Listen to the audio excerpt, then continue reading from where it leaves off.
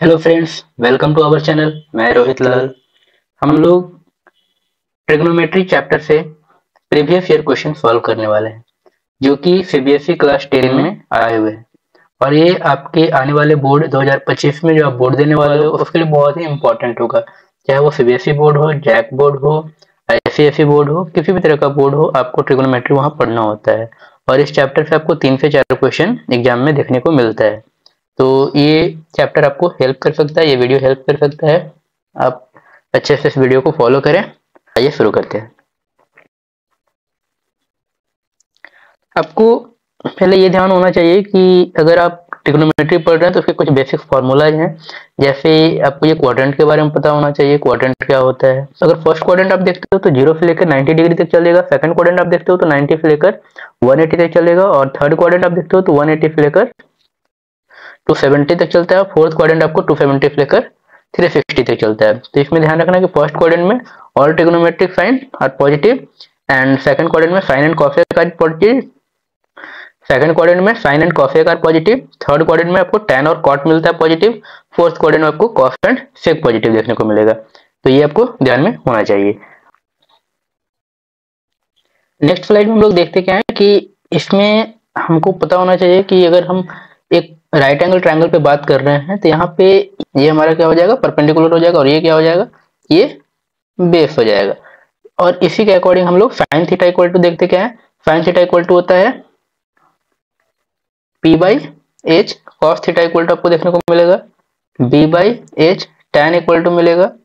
P by B और cosec equal to मिलेगा। Cosec sign का उल्टा होता है, यानी कि एच बाई पी सेक जो होता है कॉस का उल्टा होता है। मतलब कि ये बी बाई सॉरी ये एच बाई बी हो जाएगा और कॉट जो होता है, वो टेन का उल्टा होता है। तो ये बी बाई पी होगा। तो ये आप लोग ध्यान में रखिएगा। इसी तरह से आपको ट्रिग्नोमेट्रिक स्टैंडर्ड टेबल भी देखने को मिलता है। स्टैंडर्ड टेबल में zero degree thirty degree forty five और सिक्सटी और नाइन्टी डिग्री आता है। ये स्टैंडर्ड टेबल है। तो आपको साइन थीटा का जो ज़ीरो डिग्री का वैल्यू होता है, वो ज़ीरो होता है। तो आपको ये टेबल पूरा याद होना चाहिए। ये टेबल के बिना ट्रिगोनोमेट्री बना पाना बहुत मुश्किल होता है।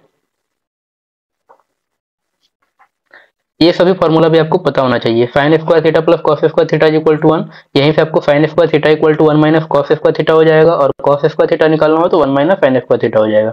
इसमें tan square theta plus one is equal to sec square theta अगर हम इसको ये लिखें कि tan square theta equal to क्या होगा तो one minus sec square theta और sec square theta equal to क्या होगा? तो one minus tan square theta अगर हम इसको एक और अदर तरीके से लिखना चाहें तो लिख सकते हो sec square theta minus tan square theta equal to one और इसके अकॉर्डिंग आपको tan square theta equal to one minus sec square theta और sec square theta equal to one minus tan square theta देखने को मिलता है। और अगर सेक स्क्वायर लिखना हो तो tan square theta plus one हो जाएगा। और इसको हम लोग क्या लिखेंगे? तो इसको लिखेंगे cosec square theta minus cot square theta is equal to one और अगर सेक एफ़ कॉसेक स्क्वायर थीटा लिखना हो तो cot square theta plus one होगा। कॉट स्क्वायर थीटा लिखना हो तो one minus cosec square theta होगा। कॉसेक स्क्वायर मतलब one minus cot square theta ये फॉर्मूला भी आपको पता होना चाहिए। ये बहुत इंपॉर्टेंट है। इसी के बेस पे आपको लगभग क्वेश्चन देखने को मिलेगा और ये हर जगह अप्लाई होने वाला फॉर्मूला है। हाँ तो आइए हम लोग क्वेश्चन को सॉल्व करते हैं। ये फ़र्स्ट क्वेश्चन है। इस क्वेश्चन में बोल क्या रहा है कि आपको tan A is equal to three cot A दिया हुआ है, आपको ए का है मतलब एंगल का वैल्यू बताना है। तो हम लोग इसमें क्या करेंगे? हम लोग लिखेंगे tan A is equal to three cot A है इसको हम लिख सकते हैं। Tan A divided by cot A is equal to three इसको अब लिख सकते हो आप tan A into tan A is equal to three अब ये टेन ए कहाँ है? तो friends tan A is equal to होता है वन बाई कॉट ए इसका हम कलर चेंज कर लेते हैं, ये थोड़ा डार्क हो जा रहा है तो पता नहीं चल पा रहा है, इसलिए येलो ले लेते हैं। यहाँ ये क्या होगा? ये होगा आपको tan square A equal to three तो टेन एज इक्वल टू क्या हो जाएगा? अंडर रूट थ्री तो अंडर रूट थ्री किसका वैल्यू होता है? टेन के फॉर्म में टेन सिक्सटी डिग्री का वैल्यू होता है। तो ए इज़ इक्वल टू क्या मिल गया? सिक्सटी डिग्री ये इसका आंसर है। ठीक है? आई होप कि आपको ये समझ में आया होगा। आइए नेक्स्ट क्वेश्चन देखते हैं। नेक्स्ट क्वेश्चन में बोल क्या रहा है कि sec theta plus tan theta into one minus sin theta is equal to what तो ये एमसीक्यू टाइप का क्वेश्चन है।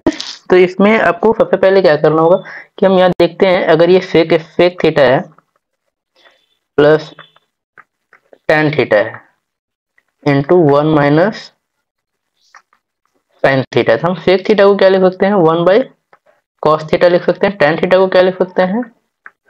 Sin theta by cos theta लिख सकते हैं। और इसको वन माइनस साइन थीटा ऐसे ही एज इट इज़ रखते हैं।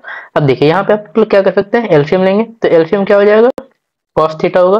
ये हो जाएगा one plus sin theta into one minus sin theta अब आप ये देखो कि one plus sin theta into one minus sin theta ये किसी आइडेंटिटी को फॉलो कर रहे क्या? तो आइडेंटिटी फॉर्मूला एक होता है ना A plus B into A minus B is equal to A square minus B square ये फॉर्मूला फॉलो कर रहे हैं? मतलब कि हम लिख सकते हैं वन का square minus sin square theta divided by cos theta तो ये क्या हो जाएगा? One minus sin square theta is equal to cos square theta by cos theta तो आपको कॉस से स्क्वायर कट गया क्या बच गया? केवल कॉस थीटा बच गया। इसमें आंसर कौन सा हो जाएगा?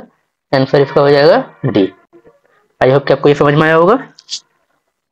आइए अब नेक्स्ट देखते हैं।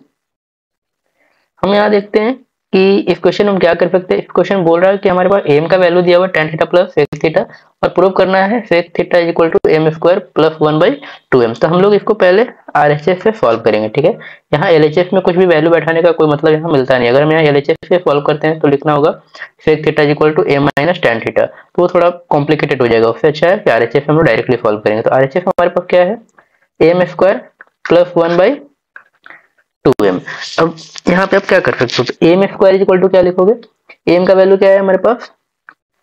Tan theta plus sec theta का square plus one divided by two into tan theta plus sec theta अब इसको जब हम सॉल्व करेंगे तो क्या आएगा? ए प्लस बी का होल स्क्वायर पे ब्रेक करेंगे। तो ए प्लस बी का होल स्क्वायर पे ब्रेक करने का मतलब क्या हुआ? Tan square theta plus sec square theta plus two into tan theta into sec theta plus one यही होता है। अब नीचे वाले को एज इट इज़ वैसे ही रखेंगे। अब इसमें देखो कि कोई फॉर्मूला फॉलो कर रहा है। अगर आप यहाँ से देखोगे अच्छे से तो क्या दिख रहा है? इसमें करते क्या है कि इसको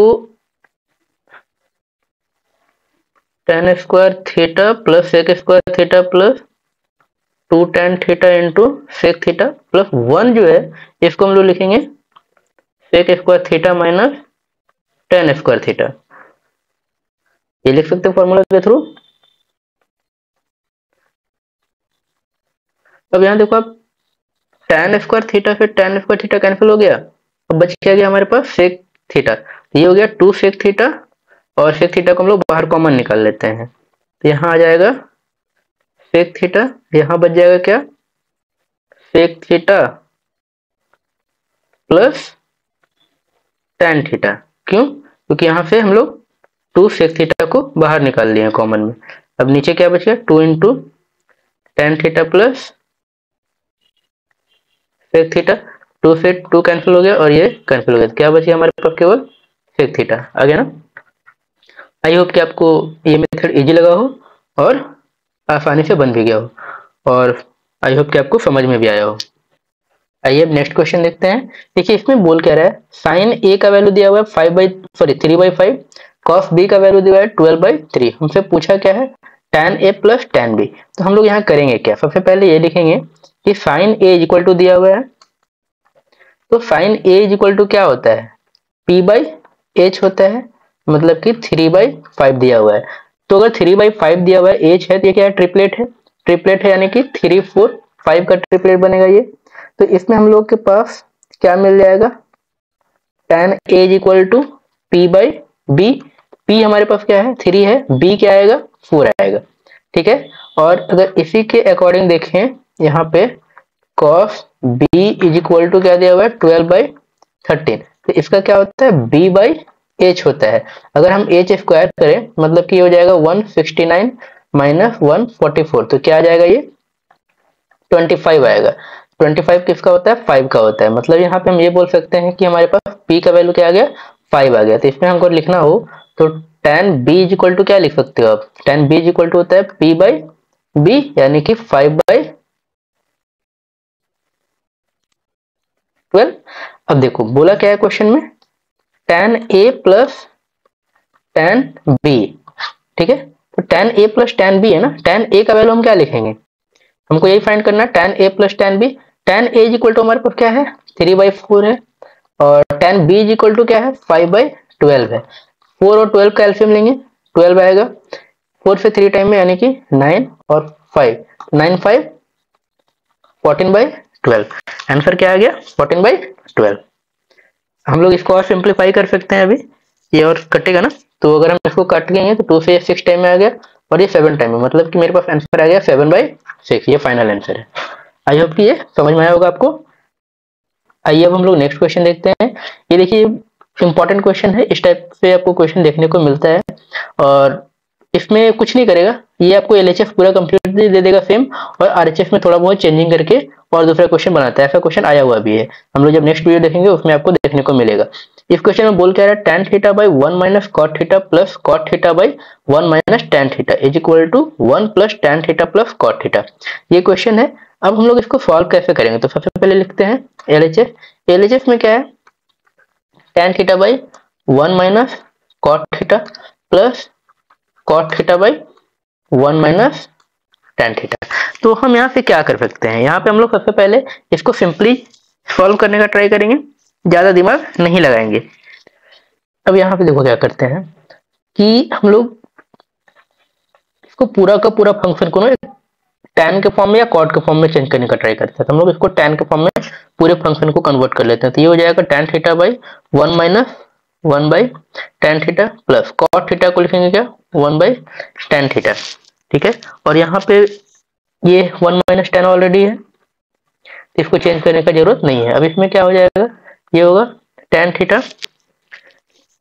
और ये एलसीएम लेंगे तो ये हो जाएगा tan theta one minus, sorry, एक मिनट।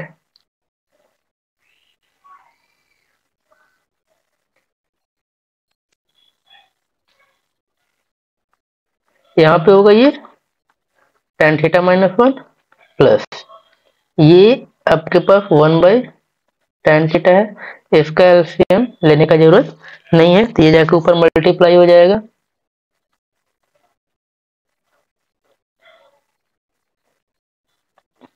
और ये हो जाएगा, ये ऊपर जाकर मल्टीप्लाई होगा तो one by tan theta into one minus tan theta ठीक है, अब ये उसको ऊपर ले जा रहे हैं। तो ये हो जाएगा क्या?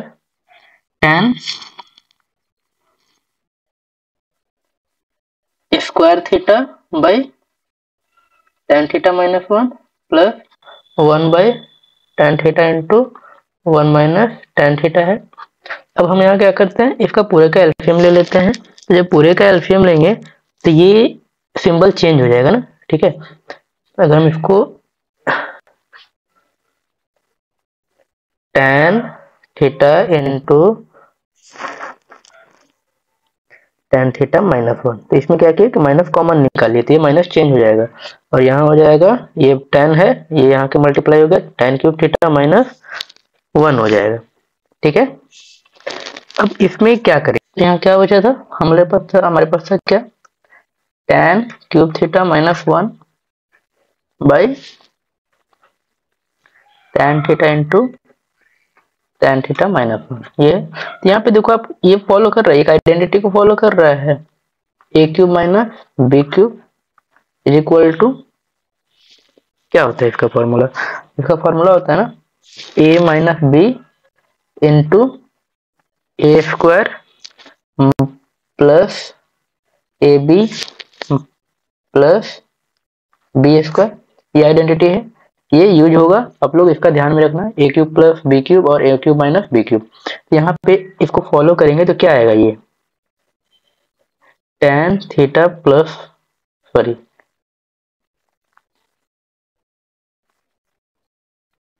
यहाँ पे होगा ten theta minus one by into ten square theta plus ten theta plus one divided by ten theta into ten theta minus one अब देखो इसमें टेन थीटा माइनस वन और ten theta minus one cut गया। क्या बच गया यहाँ पे? Ten theta ten square theta by ten theta plus ten theta by ten theta plus one by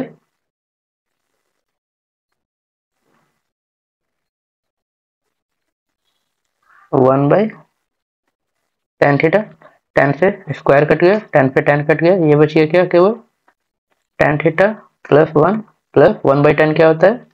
cot theta होता है, ये ना लाना था। ठीक है? आई होप कि आपको ये प्रोसेस भी इजी लगा हो और इजीली समझ में आया हो। इस टाइप का क्वेश्चन आपको देखने को मिलेगा एग्ज़ाम में और ये बहुत इंपॉर्टेंट पैटर्न होता है एग्ज़ाम में। तो इस टाइप का क्वेश्चन आपको देखने को मिल सकता है। मतलब मिल सकता है। आप इसको अच्छे से प्रैक्टिस करके रखो। तो आई होप कि मैंने आज जितने भी क्वेश्चन सॉल्व किए हैं, वो आपको इजीली समझ में आए होंगे। और इसका जो भी बचा हुआ क्वेश्चन है, वो हम लोग अगले नेक्स्ट वीडियो में देखेंगे। और आई होप कि आपको आज का सारा कैलकुलेशन सारा सॉल्विंग इजी लगा हो और इजीली समझ में आया हो। अगर आप मेरे चैनल पे पहली बार विज़िट किए हैं तो प्लीज़ मेरे चैनल को सब्सक्राइब कीजिए ताकि अपकमिंग जो भी वीडियो आएगा, वो आपको तुरंत नोटिफिकेशन मिल जाए। और अगर वीडियो आपको अच्छा लगा तो वीडियो को लाइक कीजिए और अपने दोस्तों के साथ शेयर कीजिए ताकि उनको भी इस वीडियो के बारे में पता चलो और वो भी इसका प्रैक्टिस कर सके। Thank you